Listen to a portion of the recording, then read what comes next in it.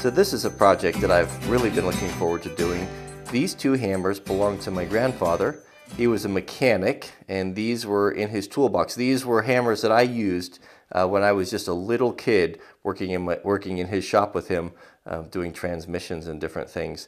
What's kind of interesting about these is, as far as I can tell, the hammers are almost identical. They're probably from the same manufacturer. But what is really typical with mechanics uh, or guys that work in confined areas is that to have tools with short handles on them. You'll notice that uh, any heavy equipment mechanic, or many of them, the old school guys would take and they would actually cut the handles off or make their own to make them a little bit uh, smaller. That, therefore, they work better in confined areas. And I, I don't know for certain, for certain, but if I had to guess from looking at it, I'll bet that this is a mass-produced handle. This would have been probably one that you would have bought, or maybe a replacement handle. It could be, it could be the original, although I doubt it.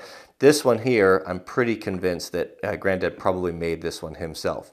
You can see he's taken about an inch and a half off of it, and it just doesn't have it just doesn't have that look in line. It has that look of a homemade handle. You know, you don't have that nice, beautiful sweeping palm swell right there that goes into a taper. It's just, it's there's nothing wrong with it. It's just um, that's that's something that was probably built for utility. You know, a guy that needed a handle and needed it quick, needed to make his, you know, to, to to use it to make his living, and that's what you get.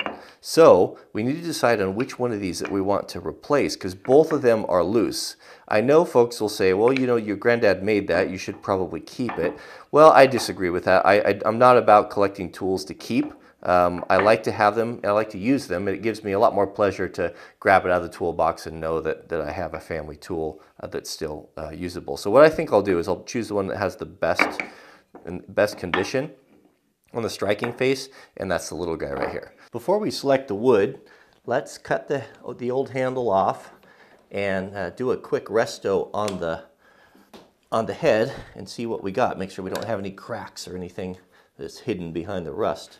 When I set up my shop, something that's been uh, so helpful is to have um, is to set it up kind of like a, a, galley kitchen. You know what a galley kitchen is? A galley kitchen is considered to be uh, the most efficient use of space. That's why that's what you see typically with uh, restaurants, high production. You'll see it. I think even on a submarine one time they kind of set it up that way. And it's what it is is it's uh, two basically two. Uh, two bars. So you have your workbench here, and then you have your most used tools right behind you. So when you're working and you need something, it's very efficient to simply turn around and to grab the saw or the chisel or the plane that you need and right back to the workbench. That's kind of the galley concept.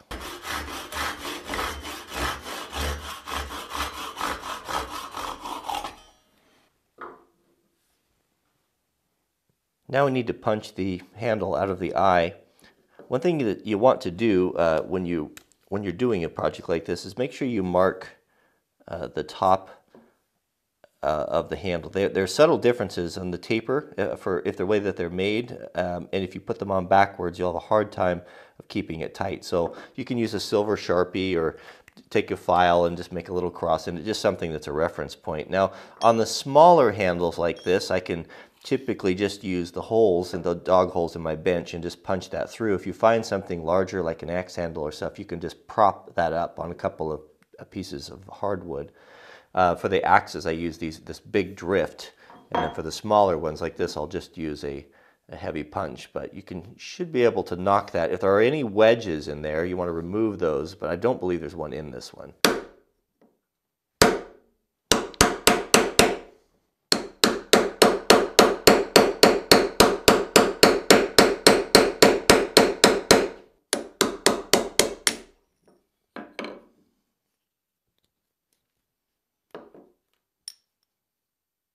A great way to clean up these vintage tool heads, hammers especially, uh, is just your bench grinder. And you want, when you set up your bench grinders, you want to put a, a stone on one side, a grinding stone, and then a wire brush on the other. A lot of them come this way. It just makes it much more versatile.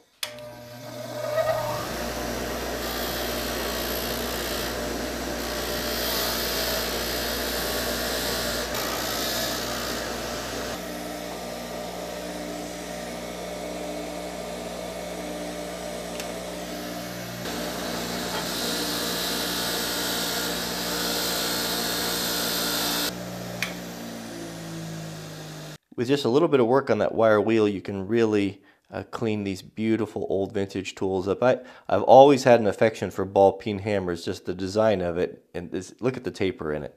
You just don't see that with the, the newer ones. It's so just beautifully balanced, beautifully made. Just, uh, just the coolest thing. All right, so we kept our marks right there.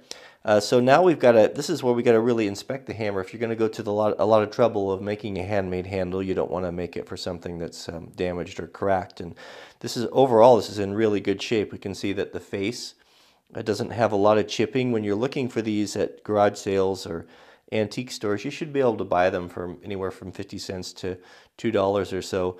If they have a lot of chipping or heavy chipping on the edges of the face there, you might want to continue looking, unless it is a family tool that you want to keep. Um, that's a different thing. Now on the on the back side, on the ball side, we can see that we've got a lot of scratching in some rough areas there uh, from pounding against something that was sharp. Let's let's dress that. Let's clean that up. We don't want that because if we, you want to be able to use a ball peen hammer to, to work with sheet metal and, and to round things. And if you have a, a striking face that's all chewed up like that, it's going to reflect, uh, transfer into your work. So we can put this on the vise and I think we can clean this up uh, really nicely. Little projects like this are the, are the exact reason why I I, I, you know, built to, um, have a machinist vise in here. I mean, you can hold these things with the wood vise, but not recommended. You want to use a lot of metal and where you're doing filing and stuff, it gets in and messes messes up. When we're working with these heirloom tools, we want to be careful um, and to not not beat them up. And you have to. A lot of times, these machinist vise will have uh, uh, corrugated or really heavy textured replaceable jaws on them, and and the steel on these is very hard and if you if you clamp these up they will mar the surface no matter I don't care how careful you are. So you have a couple options. What you want to use is a is a um, jaws kind of these inserts. You can use aluminum uh, you can use brass. Any one of these is going to be softer uh, than the, the tool metal. What I typically end up using more than any of those uh, are these silica uh, they're just some sort of a rubber um, and these work really well. And what it does is is that you can get it in there and you can bite your tool uh, very tight. It, it, they have a little bit of flex in them, but it, they're so sticky that they don't seem to slip out near as much. And it gives you um, the ability to get a lot nicer job um, on your filing. So we'll clamp that in there nice and tight. A good all-around file to use is a, uh, of course, a mill bastard file. This is a really special one. This is a Nicholson. This is a vintage file that that um, a mill bastard file here that is brand new, an eight inch, and boy, the old ones are so they're just so much better. This is a file card. Uh, you want to have a clean, a clean uh, filing surface. The the steel in the file will actually pick up and store material, and it uh, will dull the file quicker, and it will uh, not be as effective. So have this close by. Have always have these together, and then uh, periodically clean the clean the file. The process that you use to resurface the round portion of your ball peen um, is uh, always keep your file moving. You don't want to go file across because you'll file flat spots. So what that means is as we're filing, we're moving up and we're rolling at the same time. So it's a, it's a motion just like this.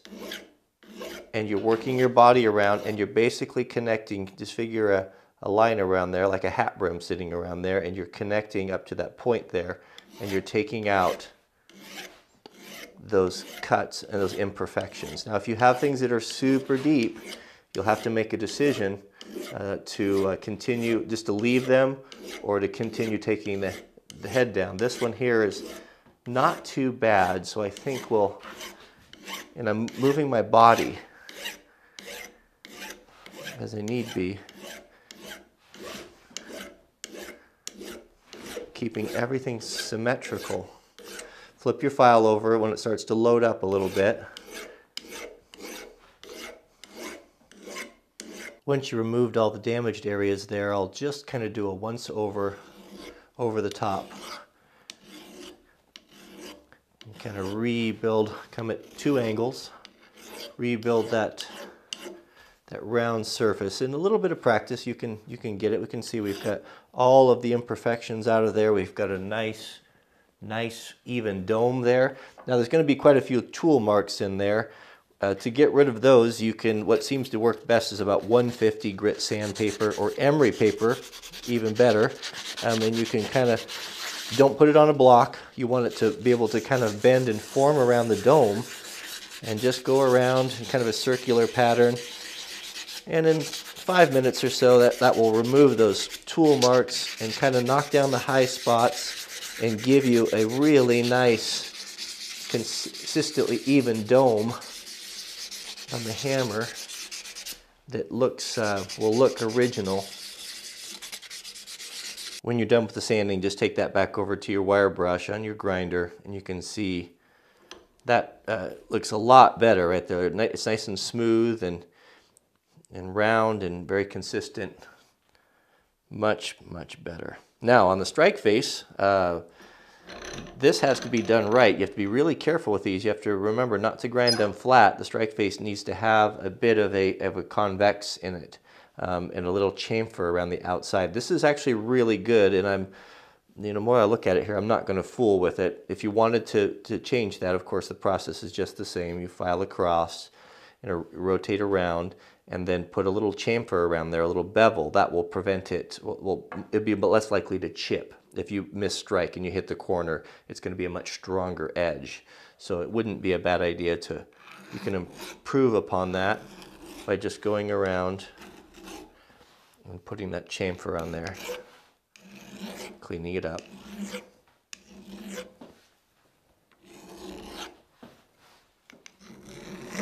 That's quite a transformation there. This is a great project for you. This is, if you want to do it, uh, get into tool restoration, you want to start building up, you know, your collection of quality vintage tools, this is a good place to start. A ball peen hammer, you want a small one, you want a large one. You know, maybe a 16 ounce and a, you know, a big masher, 32 or so is pretty nice or heavier uh, for heavy work. But this is, is just a staple around the shop. To have a small piece of railroad tie, or a small anvil or just using the back of your vise um, for pressing little things, uh, it's just it's, a, it's indispensable. It's an incredible tool, but look at the difference. I mean, these two were pretty comparable when we started, right? And uh, looks a lot nicer. Of course, we'll need to do both of them, but uh, this one for now. So next video, we'll, we'll do the handle. We'll select grade a very special piece of hickory. There's nothing better for tool handle than American hickory. Um, and then we'll uh, we'll build a very we'll build a special handle for this as well. So I think it's time for Manly Manners. Let's work see if we can work a Manly Manners in. So before we start Manly Manners, I have to publish a retraction. Yesterday I made a comment that Jordan in the P Jordan Peterson video, Jordan Peter was an atheist. Um, that was an assumption on my part that may very well be wrong. So if I'm wrong on that, I do. Uh, I certainly do apologize. I have nothing but um, the greatest respect for Jordan.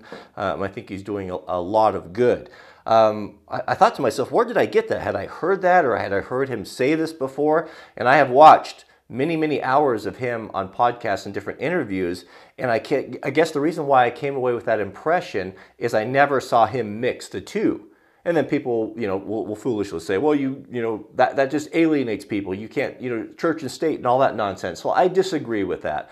I think that you know, the fear of the Lord is the beginning of wisdom. And if you are going to express wisdom, it's going to express pe- or it's going to affect people's lives. Um, that comes from that comes from the Creator. And so to to claim that, I'm not saying he's doing that, but it, to claim that as yourself and to never ever mention or or to, to bring that up into the conversation well, you know, maybe people look at it differently. Some people, I, I understand that they'll say, well, you know, if you're talking about people that are not, that don't have belief or faith, they're automatically going to stop listening to if you bring this in.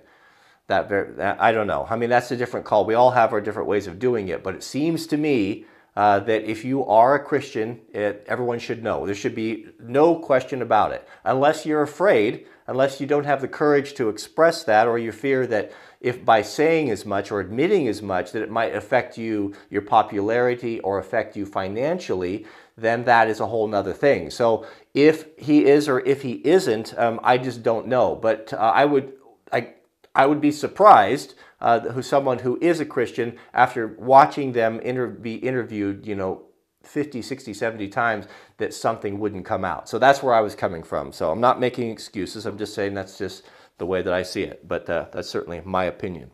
All right, Manly Manners. Manly Manners, if you're just joining us, is a little book published in 1913 called Don'ts for Husbands.